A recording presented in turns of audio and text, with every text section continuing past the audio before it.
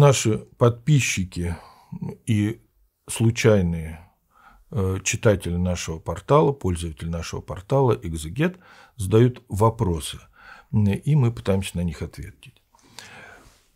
В Евангелии от Матфея в 27 главе в 19 стихе передаются слова жены Пилата. «Не делай ничего праведнику тому, потому что я ныне во сне много пострадала за него». И вот вопрос. Как пострадала жена Понтия Пилата за Христа?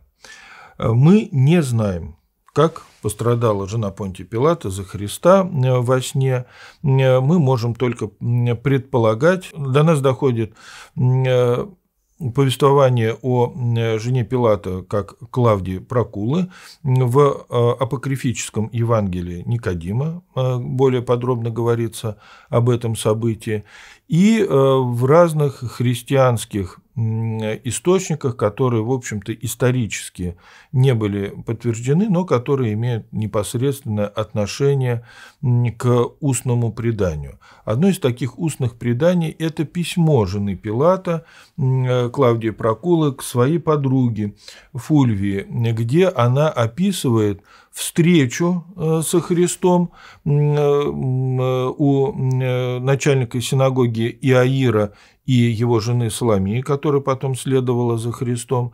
И э, эта встреча, она, в общем-то, определила многое. Многое она уверовала во Христа. Мы помним, что эта встреча была воскрешение э, дочери э, Иаира, когда Христос воскрешает э, дочь начальника синагоги. И вот с этого момента э, жена Понтия Пилата, Клавдия Прокула в предании э, повествуется, что она стала тайной христианкой. Это событие было, в общем-то, совершенно нормальным для того времени, когда жены высокопоставленных людей, в том числе, в общем-то, и римского управителя, э, иудея Понтийского Пилата, э, проявляла религиозный настрой, сначала как иудейка, живя в этом обществе, а потом уже как христианка.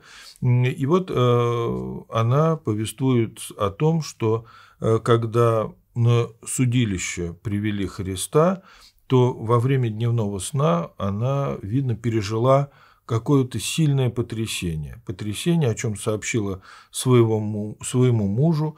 Видно, этот сон был э, особый сон, сильно отличающийся от других снов Клавдии Прокулы.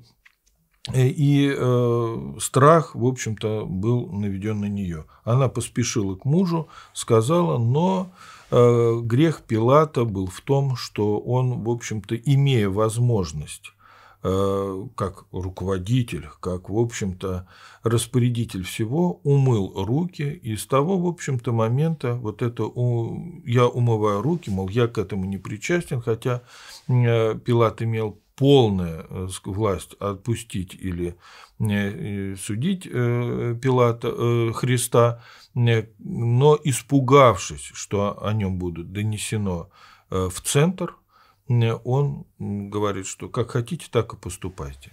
Жизнь человека, а в данном случае э, жизнь самого Бога, для Пилата была совершенно не важна, для него важно было его положение.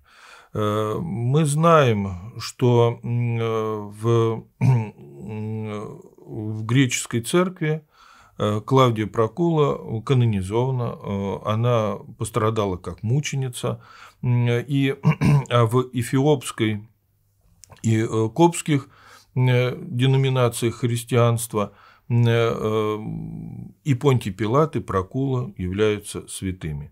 Хотя наше предание говорит о том, что Пилат был, повесился, не пережив, в общем-то, этого изгнания.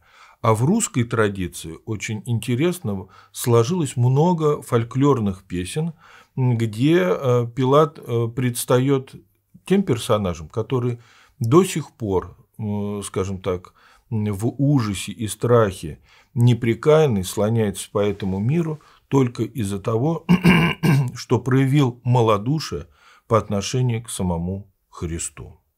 Но, повторюсь, это народное творчество. Внеси свой вклад, оцени, подпишись и поделись этим видео.